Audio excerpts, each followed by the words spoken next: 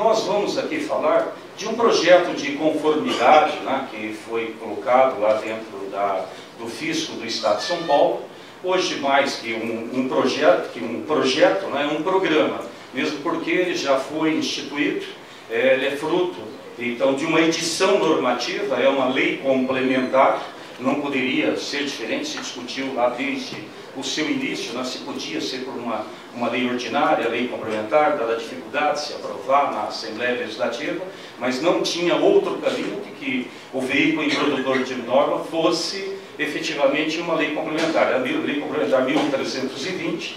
Essa lei complementar ela foi é, publicada aí no final do mês de abril, grande parte dela já está em, é, sendo aplicada efetivamente, e a parte que ainda não está sendo é, aplicada, ela pende de uma regulamentação. Né? Então, ela pende de uma eficácia né, técnica é, é, necessária, e, e, eu vou falar rapidamente a respeito disso, né? porque essa, essa parte do, da, da lei, ela está ainda é, sendo regulamentada, ela está passando por um processo, o processo inicial foi a submissão a uma consulta pública, isso está na LINST, não é, professor Becha, né? É, a, a, a, previsão né, de que matérias dessa natureza, professor Fábio, ela possa, estar, possa, ser, possa ser submetida à, à consulta pública. Então, imagino que todas as legislações anteriores não apenas poderiam, mas dessa natureza deveriam ser submetidas. E essa foi submetida à consulta pública antes da sua edição e já passando para a apresentação das telas propriamente dita, né? antes da, da sua edição, bem, mesmo antes da sua edição, ela foi discutida.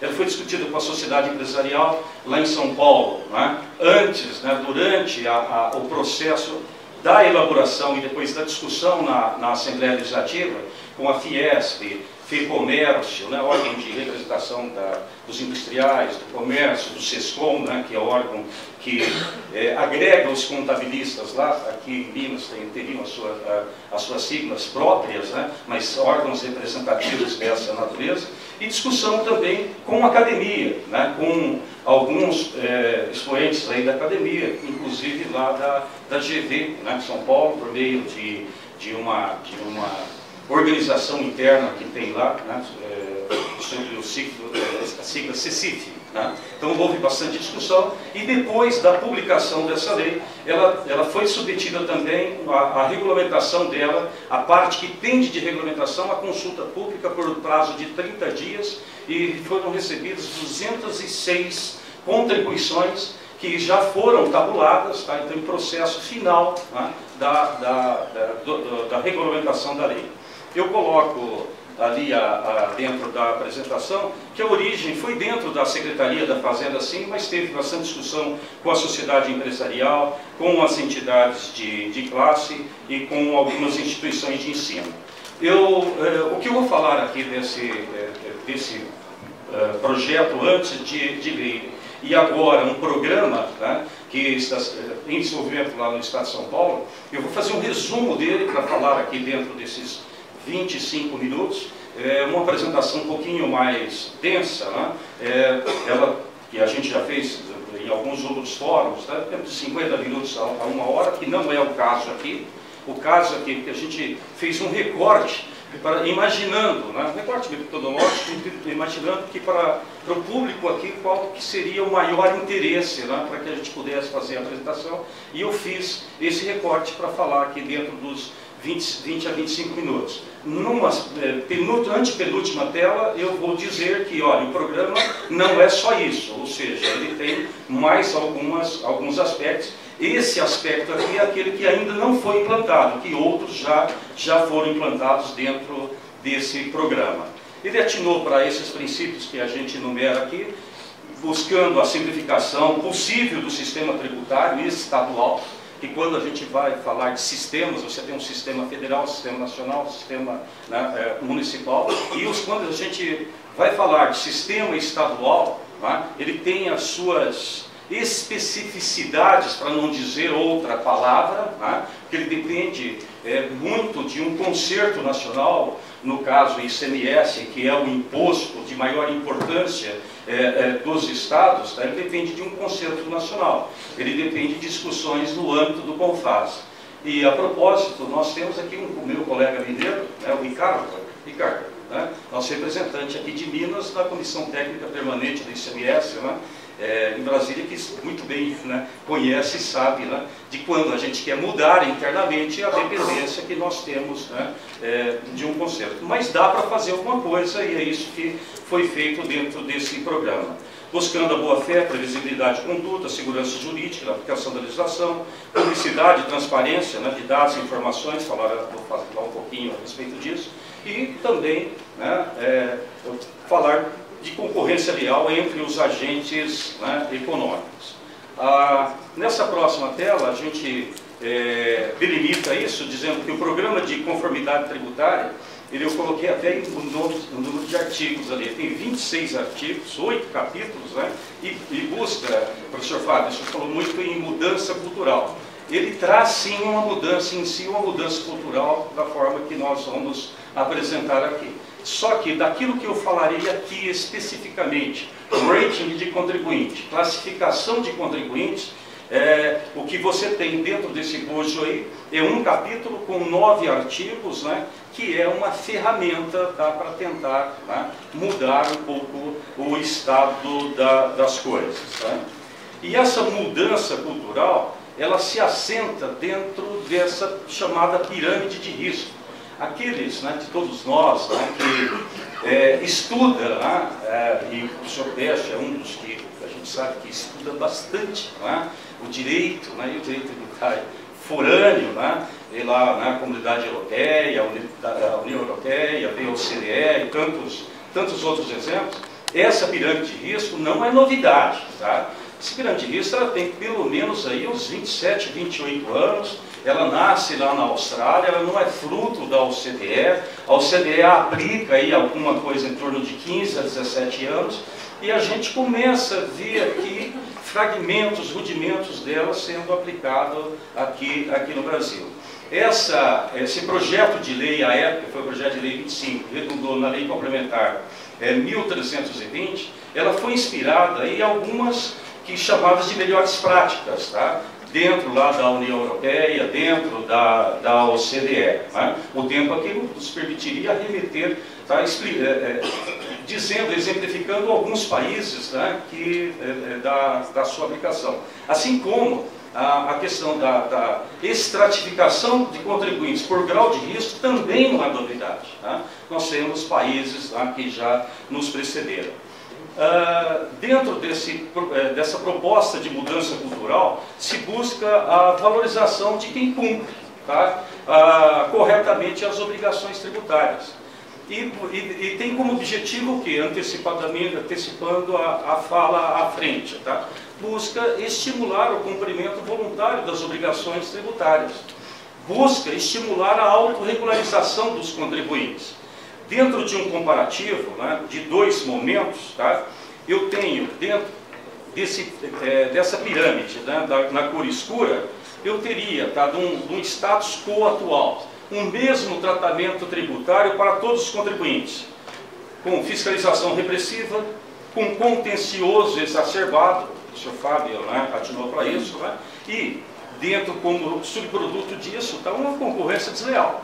Se eu tenho aquele contribuinte tá, que não cumpre as suas obrigações, especialmente no tocante ao pagamento de impostos com sonegação, tá, e, e aquele que cumpre regiamente, eu tenho aí disputando no mercado global, local, regional, ou de qualquer sorte, tá, aqueles que estão em, né, é, em diferentes condições de competitividade. Tá?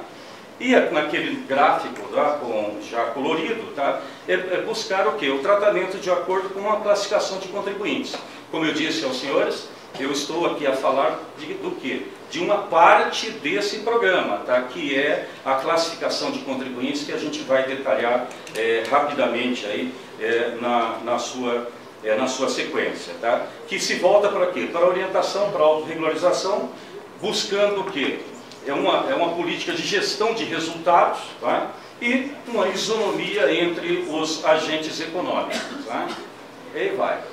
Na sequência, essa classificação de risco, essa pirâmide de risco, muito conhecida né, aí pelos senhores, tá? É, acho que a gente vê muito na literatura forânea, eu tenho aqui na base da pirâmide o quê? A maior parte dos contribuintes. Nós identificamos, professor Teste, pelos levantamentos que nós estamos fazendo para a classificação de contribuintes, que você vai encontrar de 92% a 95% dos contribuintes dentro desse extrato aqui da base que cumprem a legislação tributária. Eles, realmente eles cumprem. Você tem que simplificar, né? quer dizer, dentro dessa, dessa proposta aqui de mudança cultural, simplificar a vida dele. Subindo ali, ele tenta cumprir, já é um número menor de contribuintes, ele tenta cumprir. Olha, vão instruir e auxiliar para que ele cumpra a legislação. Olha, ele não cumpre.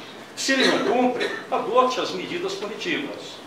Agora, se ele está decidido a não cumprir, com aquela recalcitrância, aí você tem esse, esse extrato de contribuintes que são danosos aí para a concorrência, dita concorrência leal. Tá? Com isso, você tem que aplicar os rigores da, da legislação. Mas aí dentro da proposta dessa alteração cultural, é você é, mudar a, o enfoque do tratamento cultural entre esses estratos de, é, de contribuinte. Tá? Quais os critérios? Perdão, os critérios para a classificação. São três critérios, um conjunto que traz o seguinte. Primeiro, primeiro critério para ter a classificação, a adimplência. Ele cumpre a, as obrigações tributárias vencidas, tá? Isso aí vai ser o quê? É uma medida objetiva, ele cumpre ou não. Né? Eu vejo se ele está cumprindo dentro do prazo. Conforme ele cumpre, ele vai partir para uma escala A+. Ele não cumpre, ele vai ali até uma escala D e E. Né? Eu tenho uma escala de A+, A, B, C, D e E para a escala desses contribuintes. Ele tem uma aderência entre as declarações e documentos fiscais. A minha última fala em tela vai ser de um exemplo de uma operação que aconteceu em São Paulo na semana passada, né? que trata exatamente disso é a aderência daquilo que ele declara tá, é, para o fisco e daquilo que o fisco tem de informações a respeito dele, né, ah, ali no seu, nas suas bases eletrônicas. Tá? E o terceiro, esse é mais sensível, é o perfil dos fornecedores. Então você vai classificar o contribuinte de acordo com o perfil dos fornecedores. Primeiro, a primeira pessoa que que fez uma abordagem crítica a respeito disso. Quando essa discussão começou, depois ele mudou ah, ah, o, posicionamento dele, pelo menos em parte, no segundo artigo, que foi o professor Igor. O professor Igor Moller, né, ele fez um artigo crítico, foi no, no valor econômico a respeito disso. Tá? Bom, para que a gente vá, vá mais objetivamente, né, aqui nós temos então o que nós dissemos o conjunto do contribuinte de A+, A, B, C, D e E. Né? Estaria aqui no A+. Tá? É, esse contribuinte ele pode se opor à divulgação da sua classificação, porque tudo isso deverá ser publicado. Quando você tiver regulamentado, se espera que agora para o dia 15 de outubro nós já temos um marco, tá? que vai ser feito o primeiro extrato do rating de contribuintes, não vai ser dada uma divulgação plena ainda, vai ser divulgado só para os contribuintes, tá? porque você está ainda numa fase de teste, dia 15 de outubro se prevê que vai ter a primeira divulgação desse, desse rating, tá? ele vai poder, vai dentro dessa legislação é? de conformidade tributária, Lei Complementar Tributária 3.320, está prevista ali a forma do contribuinte se opor tá? a divulgação, inclusive da classificação. Ele pode, inclusive, é, requerer que se justifique uma correção de eventual erro material nessa classificação dele. O contribuinte ele será informado previamente da sua classificação, olha, essa é a sua classificação e o motivo da sua classificação é essa, tá? E a, a classificação ficará disponível para consulta pública. Então a previsão é que depois de feito todos os testes, tá? isso haja né, uma é, publicação para consulta pública do rating dos, dos contribuintes. Tá? Avançando, né, é, não, não, não, não há se falar de você fazer tudo isso tá? e não colocar efetivamente o que, que você pretende né, fazer com essa classificação aí dos contribuintes. O objetivo, como nós dissemos, tá, é o estímulo a, a autorregularização. O estímulo é o cumprimento voluntário das obrigações acessórias. Aqueles contribuintes que efetivamente estiverem classificados no A+, e no A, ele vai ter aí uma série de prerrogativas em relação aos demais, tá? E dentro de uma ordem aí para o B, o C e assim é, é, sucessivamente. E a gente traz alguns exemplos de estímulos, né? Eu não vou, ah, estou aqui há seis minutos da finalização da, da, da nossa fala, então não daria para a gente exemplificar, é, detalhar um por um, mas eu vou citá-los, né? E todos os senhores né, militantes aí do direito tributário sabem de tanto que esse, esses temas afligem o, o, nosso dia a dia. Tá? Para, para os contribuintes que tiverem né, um, uma melhor classificação, eles terão tá, uma, um tratamento diferenciado por ressarcimento da substituição tributária pago antecipadamente, que hoje ele tem que fazer um pedido do ressarcimento. Isso daí é submetido, né, Ricardo, aqui em Minas não deve ser diferente, a uma auditoria. Depois dessa auditoria prévia, e já falo também do crédito acumulado, depois tá, da auditoria prévia é que ele será autorizado ele a se apropriar do crédito acumulado para futuras transferências né, do crédito acumulado. É assim que se processa. Tá? Com essa com essa medida, se pretende se estabelecer lá em São Paulo um fast track para esse grupo de contribuintes, e eu digo que a grande massa dos contribuintes, tá, ele vai ter um fast track, ele vai se é, é, é, é creditar, é, apropriar do crédito antecipadamente, antecipadamente depois que será feita a, a auditoria. Né? Então isso a, a, ocorrerá para o ressarcimento de, de, de ST e para a liberação do crédito acumulado mas dentro da, do crédito acumulado também estabelecer algumas hipóteses tá, para monetização desse crédito, desse crédito acumulado, ou seja, para facilitar a vida desse, desse conjunto de contribuintes para a liberação do crédito para empresas dependentes e também as interdependentes. É? Estou falando aqui num linguajar mais voltado para o advogado tributarista ali da prática, tá? que, que vive esse problema no dia a dia. Tá? E crédito do ICMS tá? é, é, é disponível para ele, é capital de giro para ele. Tá? Então, se dentro dessa classificação, ele tendo esse tratamento aqui é, diferenciado mediante o, o seu rating, tá? facilita em muito a vida dele. Tá? Mas aí também se prevê o quê? Compensação de contragráfica do ICMS de ST, porque o desculpe, de, de importação, ICMS importação, você tem que pagar o ICMS importação e depois tá, você vai é, é, é, fazer a compensação disso lá na frente. Tá? Então, dentro dessa, desse projeto, desse programa aqui, você tem a possibilidade tá, de que haja compensação já na conta gráfica. Você recolhe e compensa na conta gráfica tá, o ICMS, né, é, tanto da, de, de, origem de outras unidades da, da, da federação, como está aí, como oriundo do ICMS importação. Eu já falei de transferência de crédito acumulado para empresas não interdependentes. O velho problema de regimes especiais, todos os estados têm, São Paulo não é diferente, e as grandes dificuldades que as empresas têm para a renovação desses é, regimes especiais. Então, se prevê que para esse grupo de empresas você tem aí uma renovação automática, se for o caso, se o caso de diligência, diligências a posteriori. E a gente coloca aqui, observando-se procedimentos simplificados, formas e condições que serão estabelecidas no, no regulamento para ajudar né, o contribuinte a cumprir as suas obrigações de forma mais simples, tá? reduzindo o custo de conformidade, reduzindo né, é, contencioso. Três minutos, né? É, é, só, só, uma, só uma colocação bem, bem, bem rápida mesmo. Essa legislação ela já vem numa sequência de outra lá em São Paulo, que foi uma luta interna dentro da Secretaria da Fazenda para fazer conceber uma legislação, professor Renato, que colocasse limite tá, para multas tá, é, de obrigação acessória, tá, limitando ao, ao máximo do faturamento, 1% do faturamento da empresa do ano anterior. Por quê? Porque você tinha autos de infração que dava várias vezes o patrimônio líquido da, é, da empresa. Tá? É, dentro dessa mesma lei anterior, tá, foi criado o Instituto, da inspirado, tudo isso está acontecendo no Brasil, da confissão premiada. Né? É, o contribuinte que, olha, ele está lá diante daquela situação, né? ele foi apanhado, foi autuado, se ele não tem antecedentes naquele sentido, ele, ele tem o estímulo que foi criado para ele, uma cenourinha à frente, né, colocado para ele o seguinte, olha, você, se você quiser tá, resolver o contencioso e reconhecer, você parte com uma redução da multa em 50%. Aí você dá mais 70% se ele pagar em 15 dias, tá? essa multa que era de um milhão de reais, ela cai aí para 150 mil.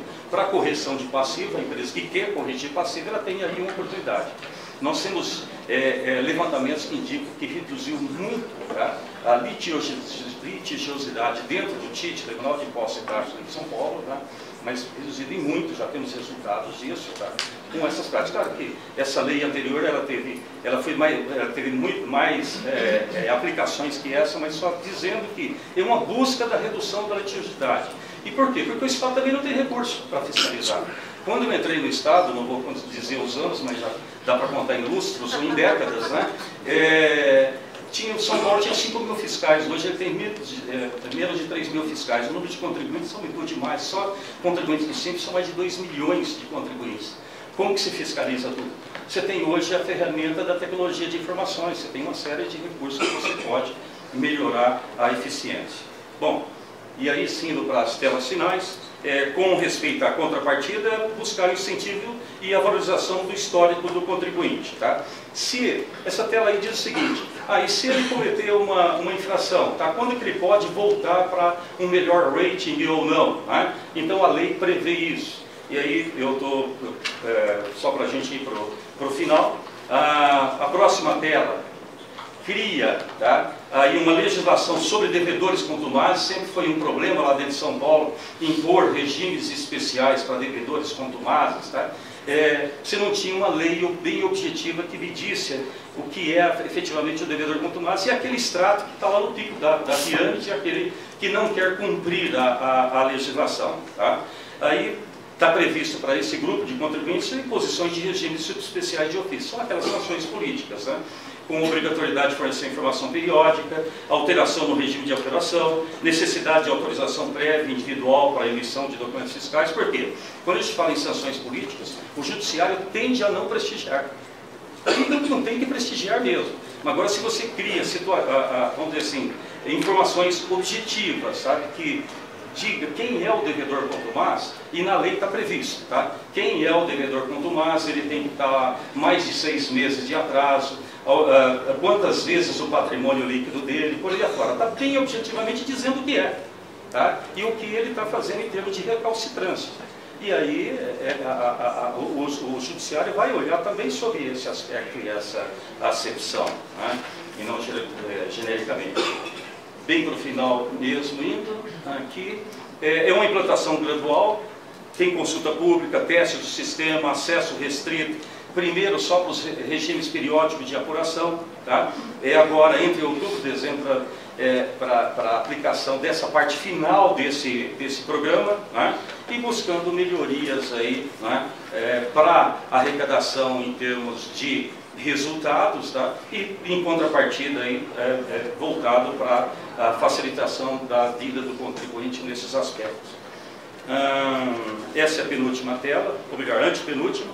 Como funciona o programa? Tá? É, rapidamente, né? ah, isso que eu falei só da classificação de contribuintes, mas o programa ele, ele busca facilitar incentivar a autorregularização e a conformidade, reduzir custos de conformidade, aperfeiçoar a comunicação da Secretaria da Fazenda, simplificação da legislação tributária. Nós já temos editados muitas normativas lá, em séries de portarias, resoluções, decisões normativas já inspiradas nesse projeto de conformidade penúltima tela agora sim, né?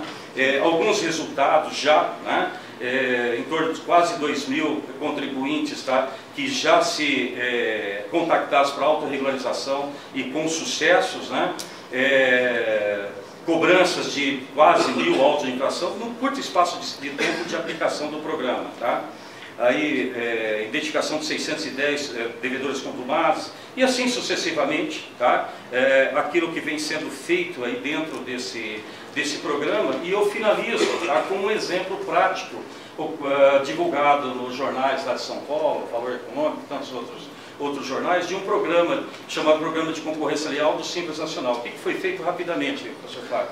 É, tem lá, na verdade, tem, tem, identificado aí um conjunto de alguma coisa próxima a 40 mil contribuintes, tá? que estão no Simples Funcional e não poderiam estar. Mas aí foi, foi identificado, de acordo com os nossos dados internos, 700 contribuintes, os maiores. Tá? Dados internos como? Fatura de cartão de crédito, notas fiscais de entrada, você tem todas as notas fiscais de entrada desse contribuinte, né? Se ele entrou, teve muito mais entrada daquilo que saiu, quem cabrito tem, cabra não tem, de outro lugar vem. E a receita é verdadeira. Né? Então, é, é, é, cartão de crédito, aquela coisa toda, identificado 700 contribuintes. Conforme o que, que ia fazer? Vai, solta a fiscalização na rua, vai lá fiscalizar. Ora, 700 contribuintes dentro de 40 mil. Né? Imagine se você fizer um programa que foi feito, você mostra para esses, esses quais são as suas inconsistências. Você diz, ó, a sua inconsistência é essa. Tá? Você tem 30 dias para se autorregularizar. Se você não se autorregularizar, e não precisa trazer nada. Se você não se autorregularizar, a partir de 30 dias a fiscalização vai, né, vai fazer é, a visita. Fui bastante... É, é, não, é, não é simples, não é simples assim, tá? Você sabe soltar um programa desse e ter é, é, referências positivas, elogios não, referências positivas. Não é comum, mas essa, tá? Só houve essa matéria de referências positivas, eu trago esse, esse artigo aqui do Valor, só a, a, a fachada dele ali, né? Que exatamente os advogados tributaristas dizendo isso, olha, está dando uma chance. Olha, está dizendo o que está de errado. Tá? Ele vai lá e corrige. Para vocês terem ideia, tem situações que contribuintes que o limite do simples no ano passado 3 milhões e 600, esse, 4, esse ano 4 milhões e 800, nós temos identificados contribuintes com valor de saída, volume de saída de 5, 6, 7, 8 vezes mais tá, do que ele deveria estar e está, está lá no Simples Nacional. E os nossos números mostram que só aí tem uma sonegação de alguma coisa em torno de 350 milhões de, de reais, que você... Nós já tivemos é, situações como essa, Operação Cartão Vermelho lá em São Paulo, tá? Foi feita uma operação como essa, olha, deu muito, muito trabalho e resultado prático muito pequeno, que depois de autuado, o contribuinte recebe multa de até 100% do valor do imposto, vai para o contencioso, no TIT 3 anos, mais judiciário 7 anos, e a gente sabe de tudo isso dele. Bem, gente, concluo aqui a, a, a minha fala, passei peço desculpa a todos vocês e a, e a mesa, dois minutos, né? E, e é esse, né? era, era essa ideia de trazer né, a informação sobre esse projeto.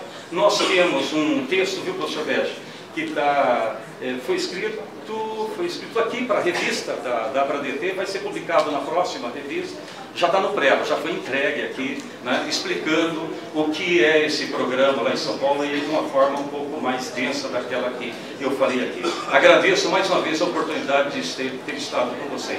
Obrigado.